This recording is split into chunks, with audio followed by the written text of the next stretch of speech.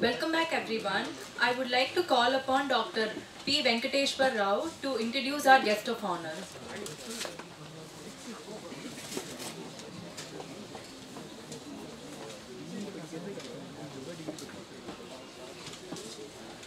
Uh, Good morning, everybody. So I'm here to introduce Professor Mahendra Kumar Madhavan. He is a professor in the Department of Civil Engineering, Indian Institute of Technology, Hyderabad.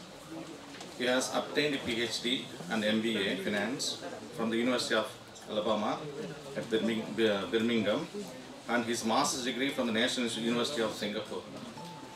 He is a registered professional engineer in the state of Alabama, USA. Prior to IIT Hyderabad, he worked as a structural engineer at Alabama Power Company, uh, Birmingham, Birmingham, USA. Professor Madhavan is an international expert in structural steel, cold formed steel, and steel concrete composite construction and has published more than 50 peer-reviewed internationally reputed journals and holds membership in the American Society of Civil Engineers, Structural Engineering Institute, Technical Administrative Committee on Metals, and in ASE SA Cold Formed Steel Members Committee. Professor Madhavan has significantly contributed to the revision of IS 801, Indian Design Code for Cold Formed Steel Members, based on the original research work carried out at IIT Hyderabad to fulfill the Government of India's goal of housing for all through sustainable construction. He is an ed- editorial board member of the Journal of Structures and is an associate editor of the ASCE Journal of Structural Engineering and serves as a reviewer for more than 10 international journals. Professor Madhavan is a fellow of the American Society of Civil Engineers, fellow of the Institution of Engineers, London. He is also the first Indian to be elected as a fellow of ASCE Structural Engineering Institute. Thank you, sir, for coming here. In spite of your busy schedule, it is now such a pleasure.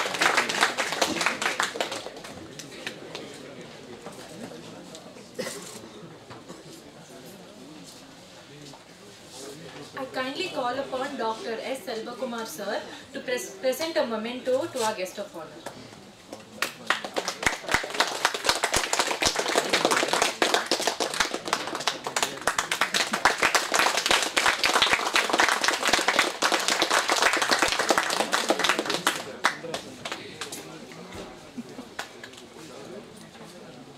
I kindly request our guest of honor to take over the session.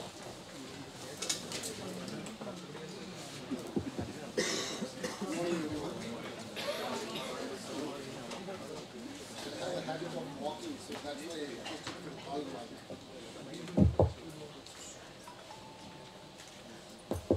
it audible now? Okay. So, uh, thank you for giving this opportunity. I would like to thank the organizers, especially Professor Kumara for giving me this opportunity. Um today I'm not going to talk about concrete, cement.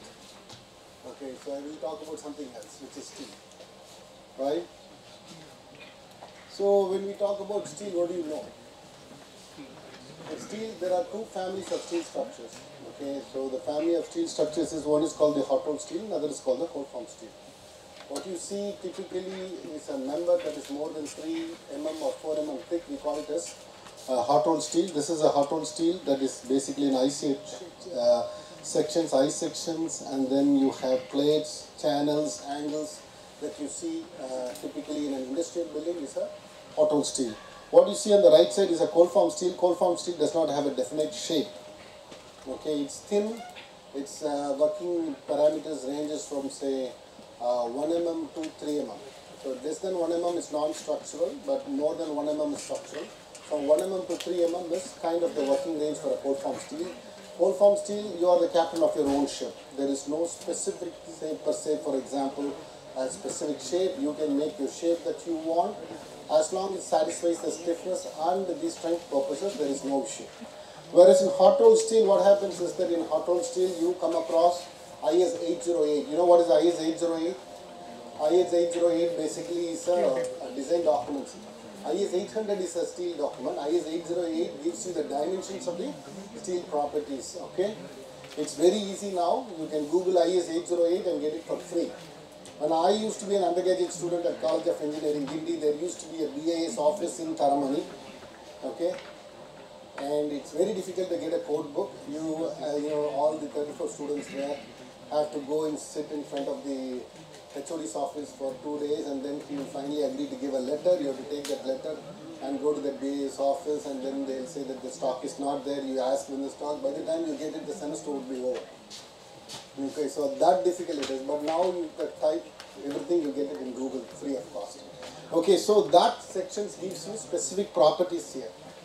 Okay, so it has a specified depth, it has a specified width, it has a specific thickness, moment of inertia, radius of gyration, root radius, toe radius, everything that you need to know is given in IS 808 for hot rolled steel, which means that it is a very well defined product off the shelf. You can order it, you can get it. Unlike cold form steel, you can make your own shape. Okay, it can be made from different processes, but you can make your own shape as long as you satisfy the strength and stiffness. Okay. So another difference between hot rolled steel and cold form steel is hot rolled steel is a very very uh, cost intensive uh, uh, production, which means that a hot rolled steel industry typically needs 10,000 crores for it to establish. Jindal Steel, Tata Steel, or Jindal Steel, you know, works and uh, you know Jindal Steel and uh, Power Plant, Steel and Power Limited. They'll have huge amounts of investment. Vizag Steel, for example, these are 10,000 crores to invest. It is called an integrated steel manufacturing unit. Whereas cold form steel is just a piece of sheet. You can get it. You buy some press brake machine for 5 lakh rupees or 10 lakh rupees. You can get it and you can uh, produce your own cross sections and shapes. Okay. One another important thing about hot rolled steel and cold form steel is that hot rolled steels are not prone to local buckling and cold form steels uh, are prone to local buckling. Anybody know what is a local buckling? I've studied uh, local buckling. Have you not studied in your? Are you third year, second year, first year? What kind of students are you? Huh? Huh? All combined. Okay, so if you are in third year and if you have studied, say, steel design, for example, absolutely your instructor should have given you some indication of what the uh, local buckling is. Buckling that happens locally is called local buckling. Okay, so. So what you see on the left side side is the big structure. See the connections and other things. This is rigid. This is on hot rolled steel. Cold form steel is very thin. Okay, this is uh, this is me standing here. So this is a construction site that uh, Hyderabad. Gachibowli. So this is used for residential construction. And another thing is hot rolled steel members typically have thicker uh, bolts and other things.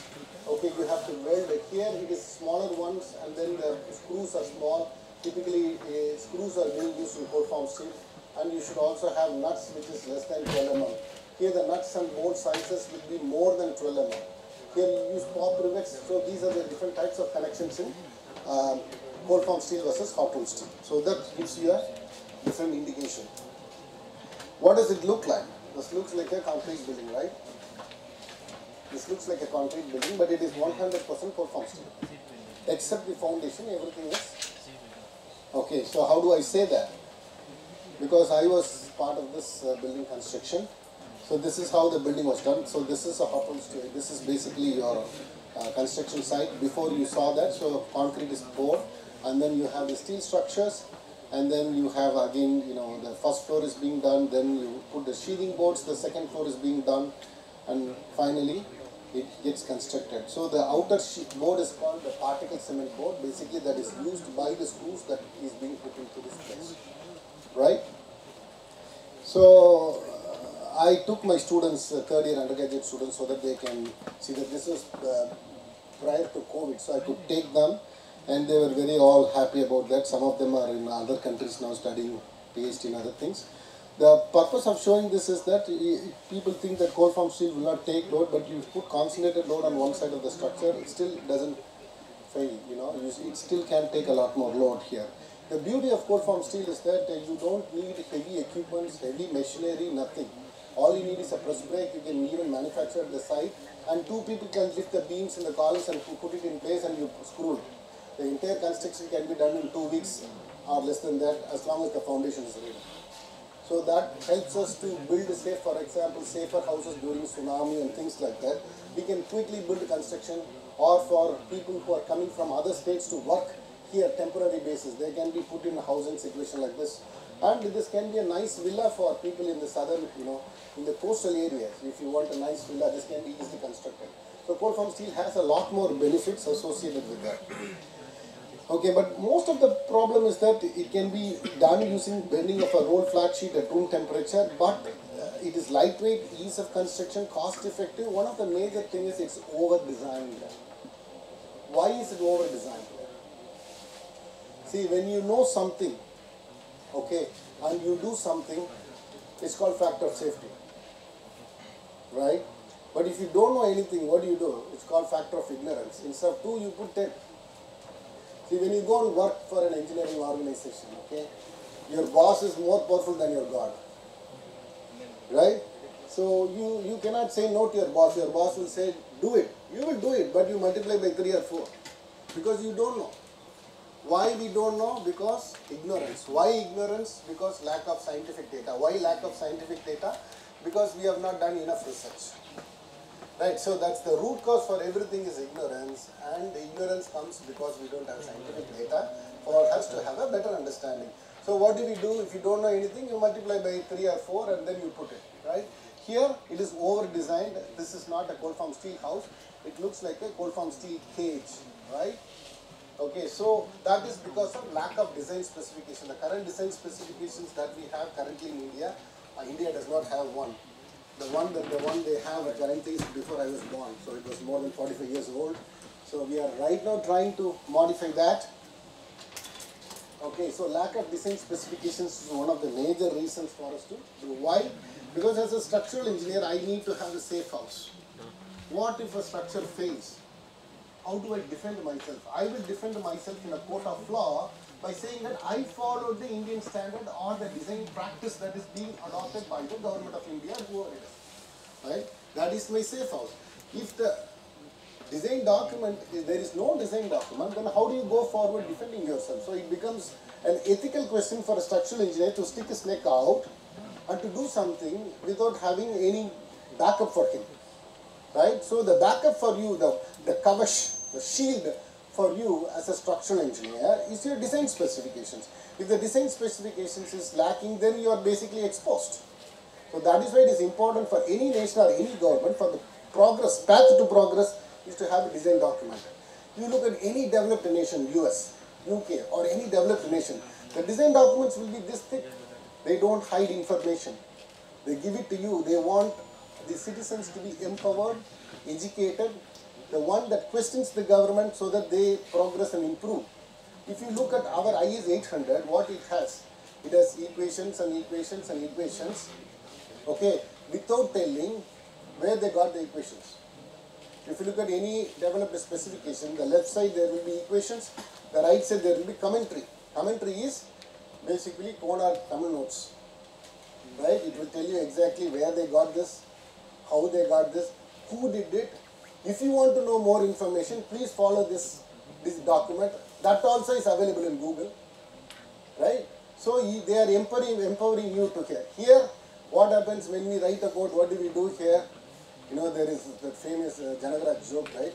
Uh, he goes to the sweet shop, he takes, you know, one kilo of this, one kilo of that, one kilo of that, and finally mix it together, give me 50 grams of that. Right? So that is how our design document is. Some are stolen from Australian courts, some are stolen from American courts, some are stolen. And to add, uh, you know, matters worse, they will not tell where they stole it from because that is becoming a trade secret.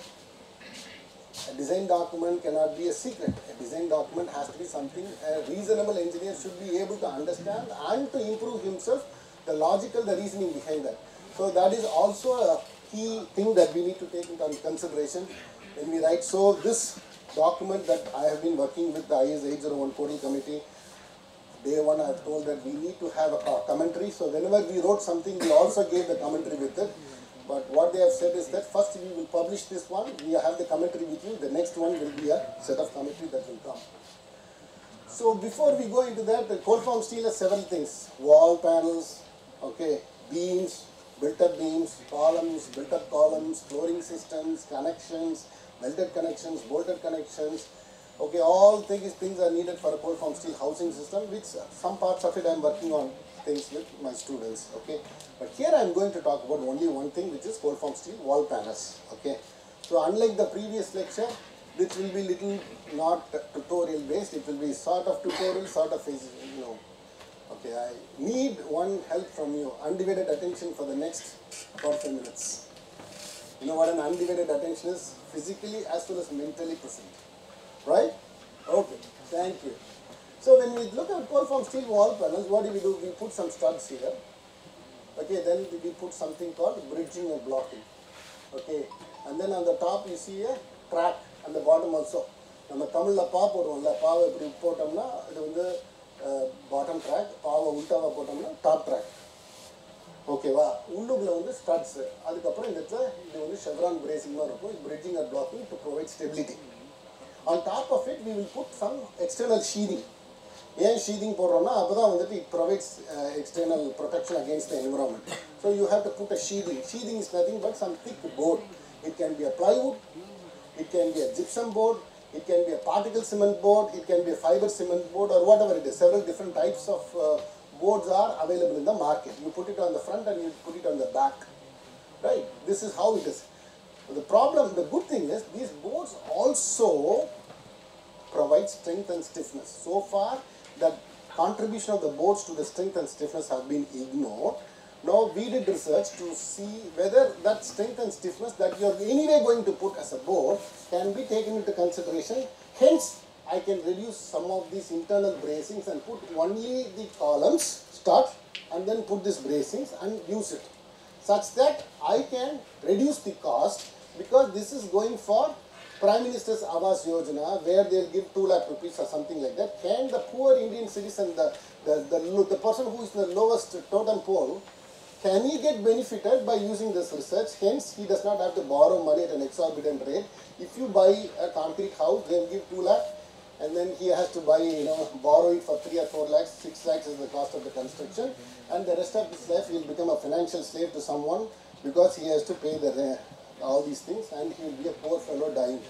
Okay, can we avoid that and make sure that we you take the money from the government, give a sustainable house to him so that he does not have to borrow money.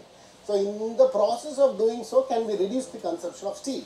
How can we can reduce the consumption by reducing these internal members? But anyway, we are going to put the sheathing at the top. This was the goal for it. So, but we also have to understand how they take the load, right? That is also important. When we put the sheathing, what happens is that the failure, there is an immediate change in the failure mode when we put the sheathing. Okay, this is a cold form steel that is unbuckled, which means that the load has not taken place here. The next one is a minor axis buckling. When you apply the load, if the, if the I value is low, then it goes through what is minor axis buckling. The next one is what is known as flexural torsional buckling, FT, right? singly symmetric cross sections undergo flexural torsional buckling. What is flexural torsional buckling? When the shear center and the centroid does not coincide, then you call it as flexural torsional buckling. And what is shear center? What do you, you know what is shear center? Is it too tough to ask? What is centroid? You do that mathematical calculations and find out the mass of this. That is a centroid, right? Y bar, AX bar, all these things. That is a centroid. That centroid gives you something. Okay. But there is something called shear center. Shear center is a magical point in the cross section. When you apply the load through that point, what you get is bending either in x direction or in y direction, but certainly not torsion. So twisting can be avoided when you apply the load through the shear center. When the shear center and the centroid coincides, you don't have any kind of problem with torsion. That is why I sections, although it is egoistic, is predominant. You know what egoistic is? I'm saying I sections and hence it is egoistic. That's a pun.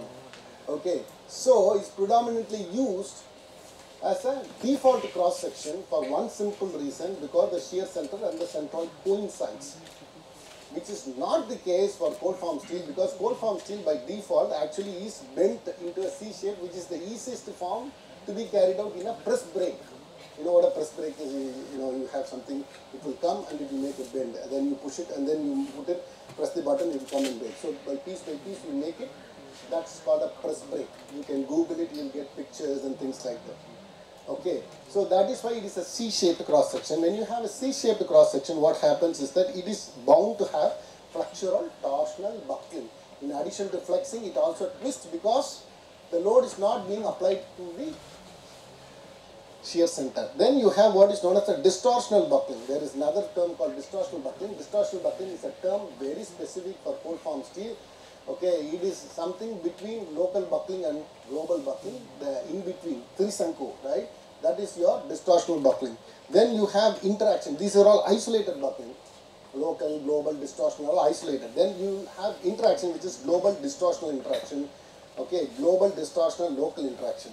I can go on and talk about this little bit, but I can sense you, you'll run out of this office, so I will stop here.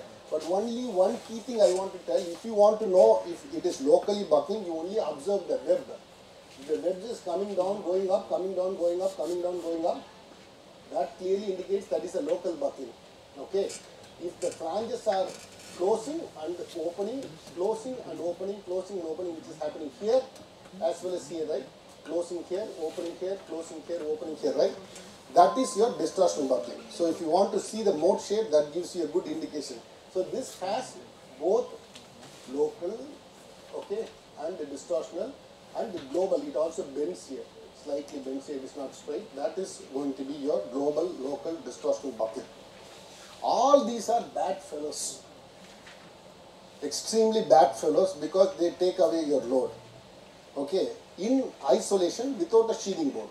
But the moment you sheath, put a sheathing board, their failure mode dramatically changes. So you have the sheathed one, so column with sheathed parameters, which the screws that we attach can be taken as some kind of a support.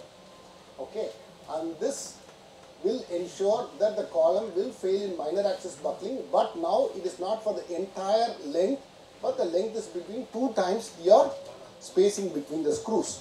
Why two times the spacing between the screws will be told in the next.